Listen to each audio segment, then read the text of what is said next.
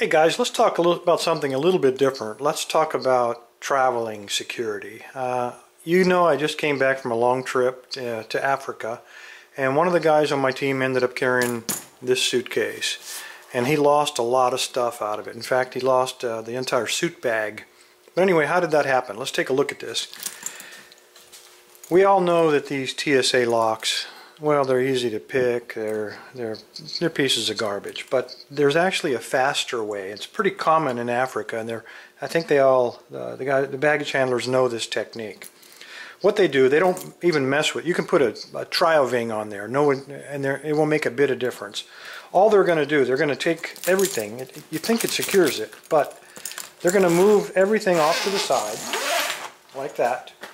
They're going to take a ballpoint pen and they're simply going to put it on the seam and they're going to basically disconnect the zipper. And once they've done that, they can undo the entire suitcase and bam, you're open.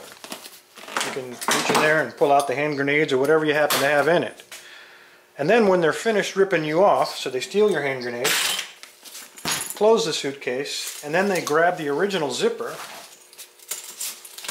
if I can get it to cooperate,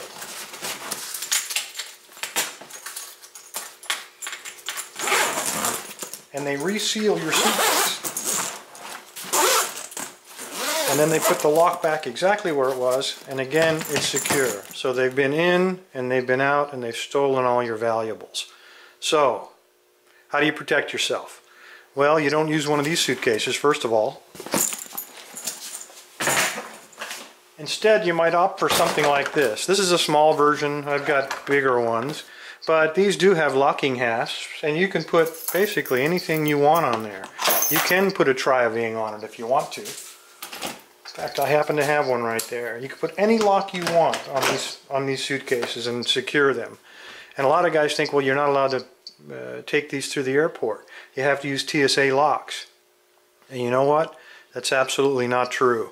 You can put any lock you want on there, and when you check your bag, you simply wait until they run it through the machine, and then if they want to open it, you provide them with the key, and if they don't want to open it, they'll wave you to go ahead and they'll leave the high security locks on your hard-sided suitcase, and nobody, not even in Africa, will be able to break into this thing and steal your valuables. So, fellas, there you go. Uh, how to travel safely, not only in the United States or in Europe, but basically all over the world. So anyway, thanks for your time. Everybody stay safe and uh, stay legal.